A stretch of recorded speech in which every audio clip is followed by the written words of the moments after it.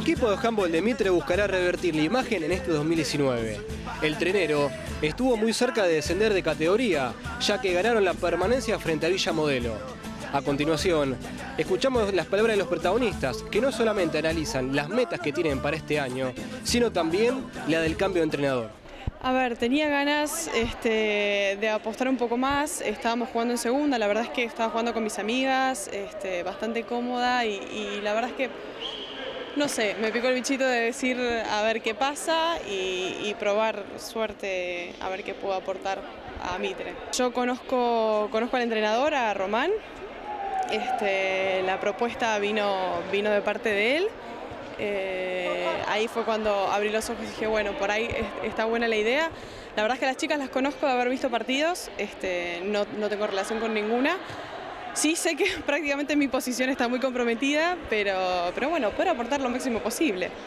Vamos a ver dónde llegamos. No me hagas preguntas a futuro porque la verdad es que es el cuarto entrenamiento, como te digo, y vamos a ver a dónde se puede llegar. estamos tratando de enganchar a algunas chicas que se sumaron al equipo. Eh, hablando con Román todos los días, que lo tengo todavía en España, está de luna de miel. Eh, nada, tratando de darle movilidad un poquito al juego de, ella, buscando los espacios, abriendo, buscando, empezando a agarrarle ritmo a la pelota de vuelta.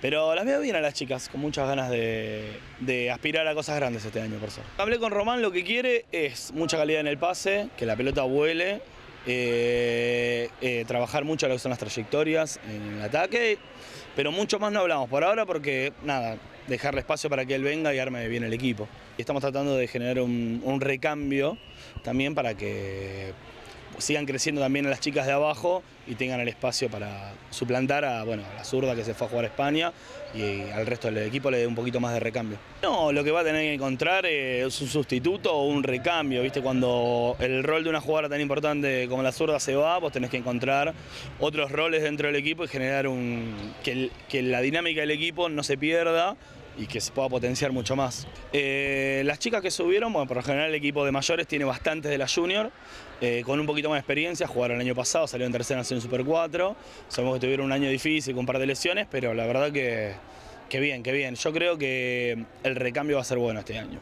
Ya te decidiste por una carrera, te falta elegir una buena universidad. Bienvenidos a UCES.